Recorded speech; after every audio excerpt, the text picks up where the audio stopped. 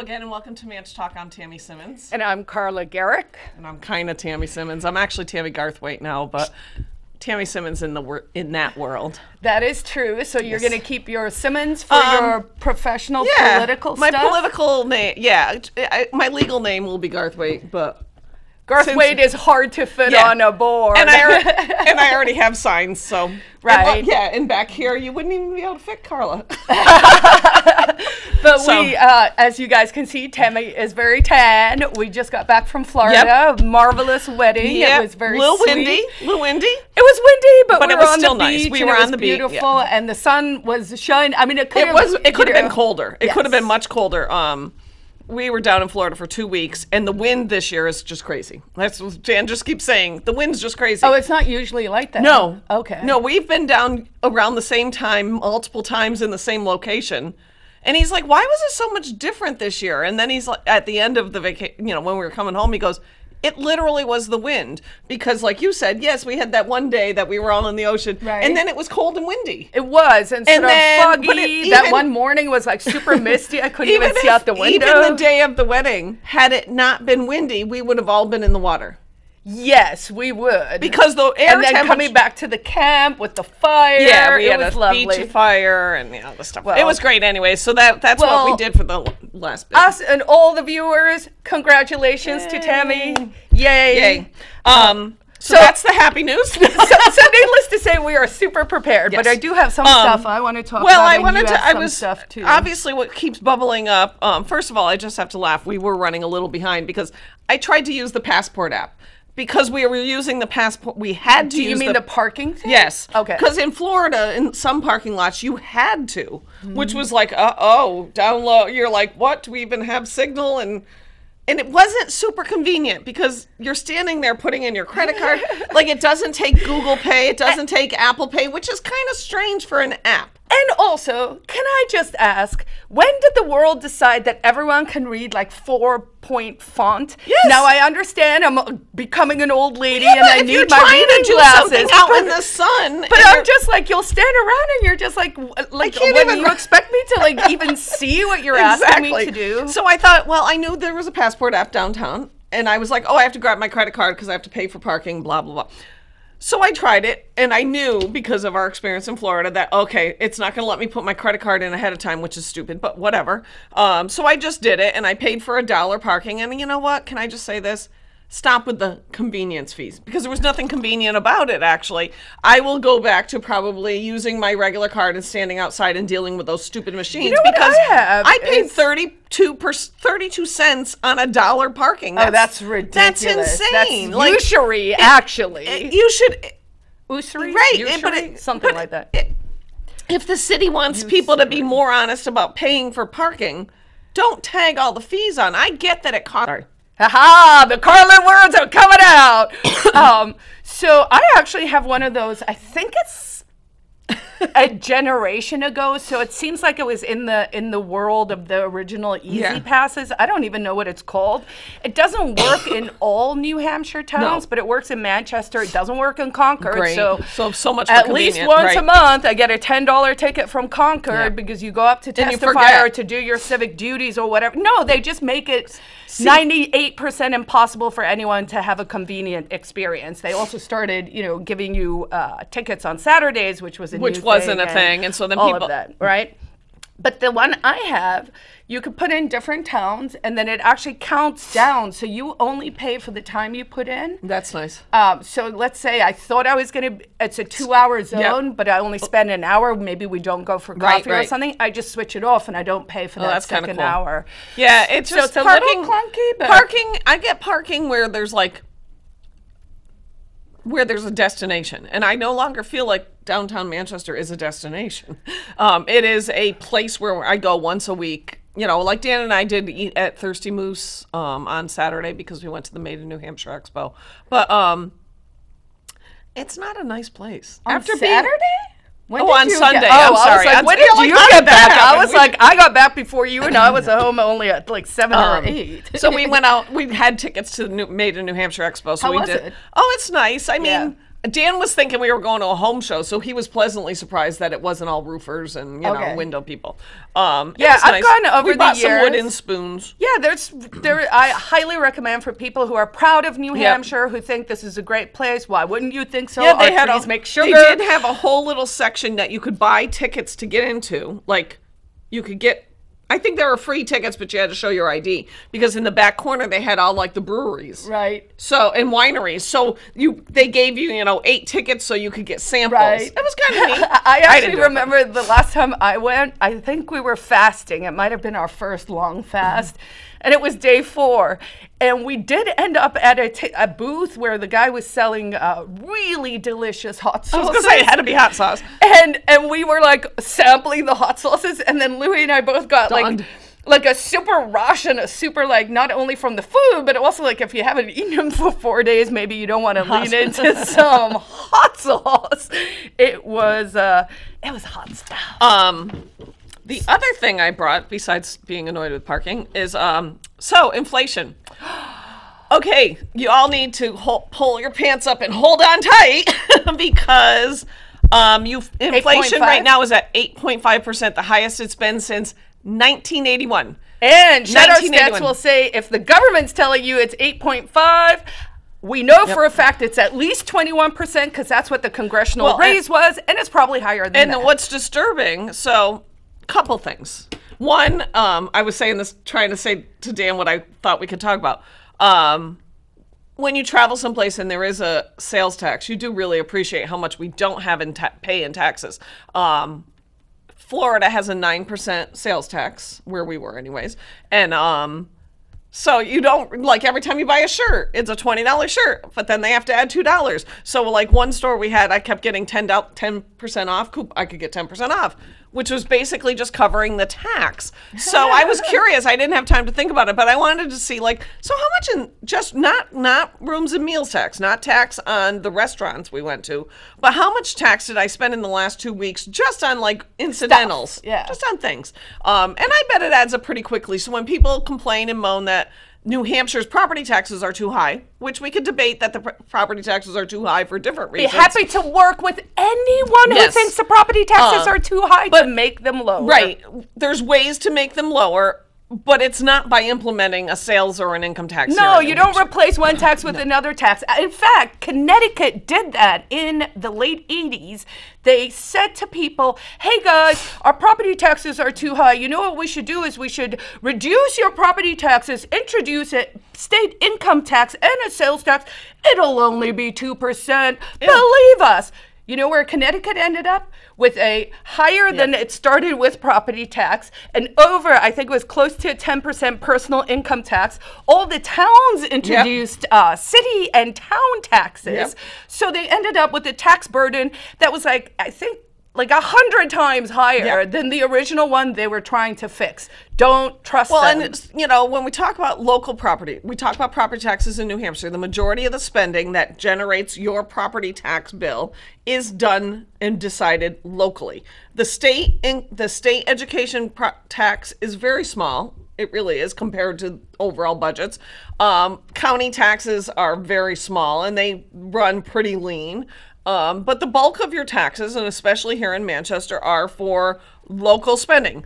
You have the school budget, which is just which is more than 50% of the city budget. is, and it- more it- than 50% of the city budget. and they're already um, you know the mayor joyce craig tries to make it sound like um, well i've proposed a tax cap budget uh, that's within the tax cap. Well that's because by law she's required to but she also didn't include any severance in her budget which means you know that your budget is unworkable and you expect them to spend more than what you're proposing. So that's disingenuous. But the school budget's baffling to me because there are so many fewer children enrolled in our schools, yet they want millions of dollars more. millions more Millions. and and and, please go look at the salaries of the people who are not educating your children but actually just doing admin. Yep. Those people are exploiting you and I and every single taxpayer in New Hampshire for red tape nonsense. You know- we can do without it. We can make it cheaper. And if we open up school choice, Yep. then eventually we will have high performing public We- schools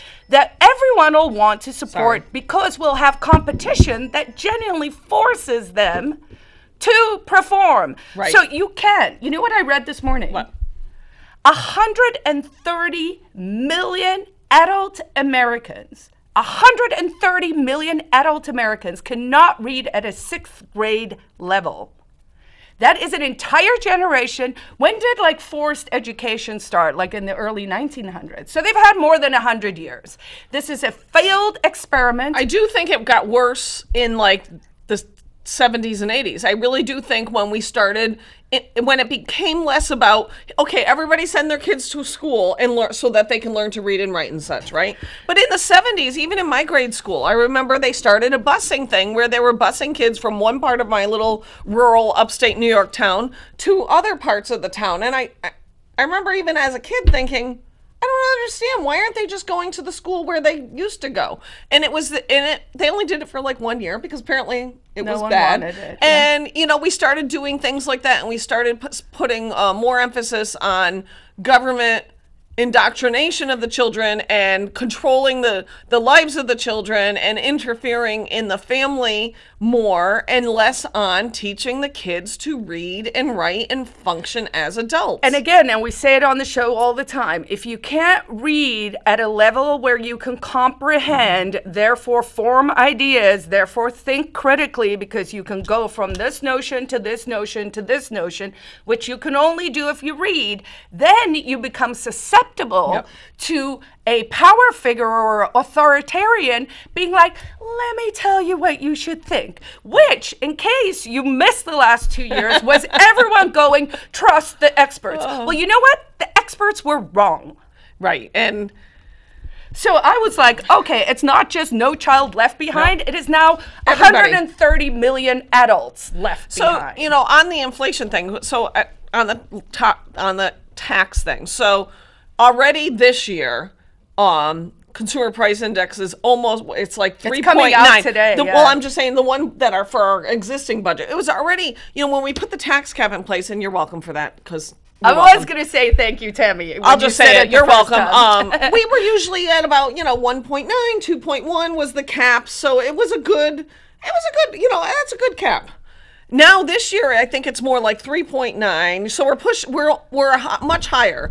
And th- what the the left will always tell you is, oh, you're just complaining. It's only fifty dollars a year. wages went up. Right, they always have some spin on it, and they al- always say it's only fifty dollars. You're making a mountain out of a molehill. Now, what they're failing to tell you is this all compounds. So last last year it might have been fifty dollars, and this year it only went up You know fifty what compounding is? You know how your student debts, you're like, ah, what happened there? Because I forgot to ask questions when I signed a contract. This is the So- lesson. it you know maybe it was only fifty dollars one year, and you think, oh, that's only ten, like ten, you know what's that five dollars a month? You know, like it isn't. But super on painful. average, they're saying now it's four hundred and thirty-three dollars Yeah. on average well, if you for just an take, American. If you take your, That your you have local to property spend taxes, more. if you're spend if you're paying six thousand dollars a year in property taxes, which is no longer a lot. I mean, when I bought my house, it was like nineteen hundred and eighty dollars property taxes, and I think when I sold my house, it was closer to four grand. So they had already doubled in you know in a couple of years. So it, just to say, if you pay six thousand dollars in property taxes on your home here in Manchester, annually. annually. That's your tax bill. You know, instead of it being a sixty dollar charge because it's one or two percent, maybe one hundred and twenty, so it's only ten dollars a month. So you know they'll tell you it's it's okay, it's only ten dollars. At the rate we're going, you're probably looking at a ten to twenty percent increase in your taxes next year. So let's just go with the moderate. 10% because if they couldn't if interest stop if if inflation stopped now and it was at 8.5% if the consumer price index stopped now it it would be 8.5 so you know they're going to spend 10% I will give you 30 trillion reasons why it's not going to oh stop. it's not but let's just for the sake of argument, say it stops miraculously and all everything doesn't continue to Oh, inflate. can't they just write an order? Isn't that Right. how it works? Like we could just write words on paper and then it can it'll just do what it says. 10% of $6,000 is $600 a year. That's $50 every single month increased property taxes. You tell me what you're going to get from the city of Manchester or the city school district that is has a value of $50 more every single month. Cuz I don't know about you but Oh, they're gonna drop off a free, uh, you know, garbage container to each of us, right? Like they're going to. This is this is a relationship where they're like, they take more money and you get more services. I already No, have a trash that's- container. Yeah, but my point is that they're not doing any of those things. And, they I mean- take more, but they give you They- less. they got rid They of- give you 130 million people who can't read. Right. So our schools, I mean, I saw an article while I was in Florida and I didn't read it because I wasn't going to spoil my, you know, vacation, but it was like test scores have improved. You know, we're showing this incre- uh, because now the the literacy rate went from, you know, 19% to, you know, 28%. And I was like, but that's still only a third of the kids are literate. It, this is unacceptable. This should never be something that is acceptable to anybody. That we can spend millions and millions and millions and millions and millions of dollars on education every year, increase it by millions of dollars every year while the student enrollment decreases. We're back to and that we're chart, back guys. and- and, and still only have like a third of the kids able to read or do math at the grade level that they're in. How is this acceptable? Why aren't more people outraged? So two things. The other thing that's happening with inflation, sadly, is uh, the size of the unit of produce is going down. Hmm. Yes. By way of example, TP, which you know apparently was you know it's. However many sheets are those I, I, are I hope little- people are still hoarding their TP because if we're in hyperinflation, you maybe become the most popular person post COVID, Yep. right? So um, they make them. I saw a thing today that said, I think it was Charmin, but whoever, some toilet matter, paper right? maker. Um, size wise, it has two less rolls in it. It's the same number of rolls, they just made just the made amount a of little paper smaller. on the roll smaller. So they kept the price the same, reduced it by two Yep. toilet rolls because they're trying to not show the consumer that we're in this Yep. situation. What will happen next is that uh, you'll be two rolls short.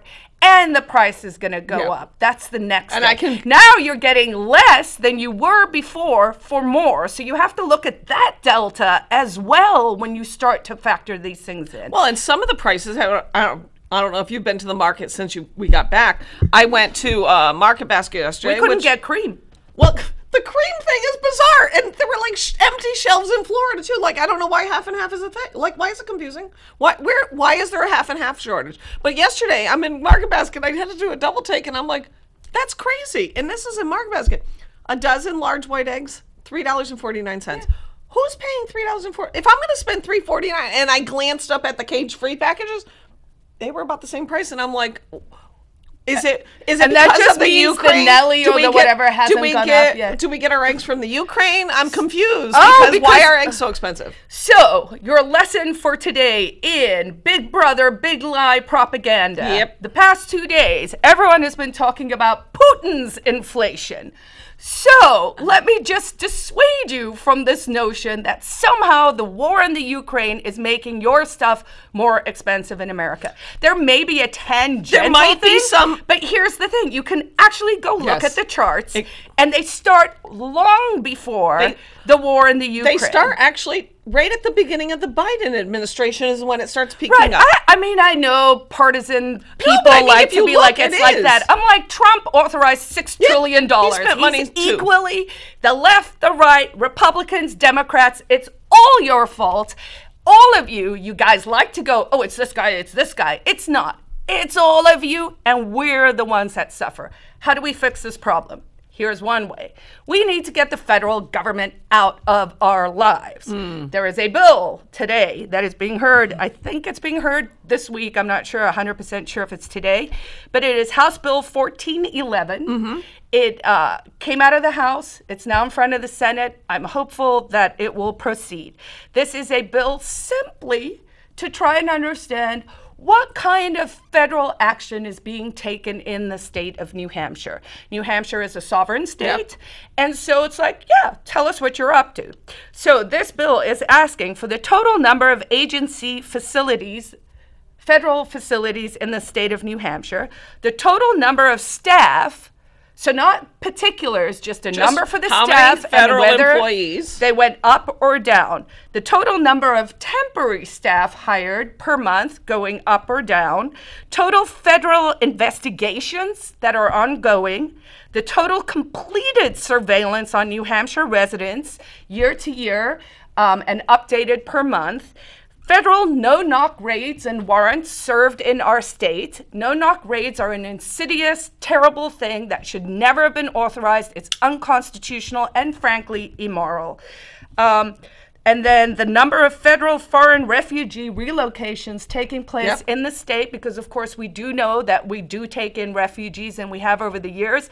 I'm an immigrant. Right, I, I was love gonna say, immigrants. I'm down with it, but let's deal with Well, the and, data, and, right? and, and just because you want to know how many doesn't mean that you're anti-immigrant because people will always say that like oh you just hate Oh, you right. hate all the immigrants and you hate the refugees i'm like no i think that's wonderful i just would like to know And and how, what, how that number is going And then last in the bill, it does ask the New Hampshire Attorney General to create uh, a searchable database that would then compile this. So this would be requiring the federal government to give us a monthly report telling us about these things that would then be something that we could track sort of as New Hampshire citizens on a dashboard to see what kind of um, things are happening. Speaking of the New Hampshire Attorney General, who I tweeted at this morning, I hope John will get back to me with an answer. Uh, those of you who were following the news while we were gone, uh, sadly, I came back to learn there was another shooting by an officer. This one has been ruled a homicide. Homicide. I believe there were three officers. This was in Derry. It was like at two o'clock in the afternoon. Yeah. It was over the weekend, I believe. Yeah. And uh, a guy with a shotgun was shooting at a neighbor, is the story. Three cops showed up. Someone popped him in the chest. The dude's dead. All right, that's as much as we know. Here's the problem I went to the AG's page this Yeah. morning, and granted, it was a very cursory review, just literally going through their press releases. But a fast way, if you're curious, like what's the AG up to, you can go to the D- Department of Justice, New Hampshire Department of Justice, and look through their news section. They will tell you when they're doing autopsies, homicide reports, whatever. As far as I could glean, again, based on my cursory viewing, in the past six months, every homicide that has been committed in the state of New Hampshire was a cop shooting a citizen. Now, I tweeted that at uh, John Formella asking, This is my reading of what I'm seeing on the website. Am I correct? I am cautiously optimistic that Carla had it totally wrong, and I can come back next week and report, oh no, that's not true. 100% of murders are not committed by police officers. But I will remind you that in 2017, the last time I went on this kind of rampage, and clearly it's time for a new one. Uh, 25% of homicides were being committed by police officers on uh, citizens. The other thing, and we've talked about this before on this show, is whatever defe- uh, definitionally they say is a justified homicide is then the rule for self-defense in New Hampshire. And you know, uh, maybe I'll teach a class at PorcFest or something that is, according to the Attorney General's justified homicide list, these are all justified self-defense actions. I think that's a fair fair way to approach it, right? It's like if you're going to say that's justified, and for the most part, honestly, when I look at the conclusions, I'm like, okay, actually, I do want you to take it at face value. If that person said, oh, I shot him in self defense, I feared for my life. Now, I will also say that person better be facing you. Right. Because if someone's running away and you shoot him in the back, you're the bad guy. Period. true True. um i'm like circling back I'm back into holiday mode. I also this uh, it ties into what we started with parking. So um here in Manchester, which is strange to me, it's just the way they it's government. Um so they're discussing whether or not to allow restaurants downtown to do the street sections absorb parking in front of their restaurants with those awful cement jersey barriers to allow more outdoor dining. I, and I literally read the article and I'm like, you know what? I am completely torn because I don't know because probably because Manchester never thinks ahead of time. We never come up with a like, hey, what are we going to do next year when these people want to do it? So first of all, I thought generally jersey barriers are ugly as sin, right? And then we let them we let the different restaurants paint them. So then they look doubly ugly as sin because it was a haphazard. There were a few that did really nice job and I was like, "Oh, that's clever." Now, we tape upstairs from Margaritas. Margaritas has the sidewalk space available. If Baked was available, they'd have it. You know, there's different restaurants that you facilitate on the sidewalk. Uh, Murphy's used to use their sidewalk before they built their patio. Um, I love to eat outdoors. We eat outdoors at the Thirsty Moose on the sidewalk, and I don't I don't begrudge any restaurant wanting to use the sidewalk in front of their restaurant. I would like to see all those restaurants and establishments clean up the sidewalk in front of their restaurant if they're going to use it for dining because also downstairs on the corner of Lowell, it's usually pretty gross. And if you're going to use it as part, then that should be part of the requirement. Now, what they're trying, what the little I read was, um, so if you want to use the parking spots, it's like a thousand dollars because the city wants to not lose revenue. Well, it's a, it's like this double whammy. Like, if you want people to come downtown, you have to make it attractive for them to come downtown. So maybe the city has to suck it up a little and give up some of their revenue so that we can make it more attractive for people to spend their money downtown. Because guess what ha- happens then? There's more meals and rooms tax that comes back to the city. So it just seems like we can never think outside the box and say, you know, maybe we'll try it for a summer and let's see what happens and let's see if it generates more more people coming downtown. Instead, the cities right away like wants to take their their ounce of flesh They're out of the businesses. And I, I don't understand why it's always the businesses and always the people who have to step up and pay more. Why why can't this the the government just suck up a little? Maybe maybe get rid of one employee. Just one. Instead of charging all of us to do everything. Or maybe figure out how to live within your means, Or- and maybe or- those means could or- be like 19. Or maybe stop with the pensions and switch to a 401k plan. Yeah. Crazy So many good solutions that we have if only someone would listen. So now we're getting the one minute warning. So that went like that. Um, it's great to be back as much as the weather sucks here in New Hampshire. April showers bring May flowers. That's right, I I've say that to growth. myself every morning. and everything's starting to turn green. And as soon as we have a sunny day, I bet everything pops. Um, if you have any questions or anything, email us at g- manchtalk at gmail.com and we'll do our best to get back to you as quickly as possible. Otherwise, enjoy the spring and we will see you next week. Bye. Bye, guys.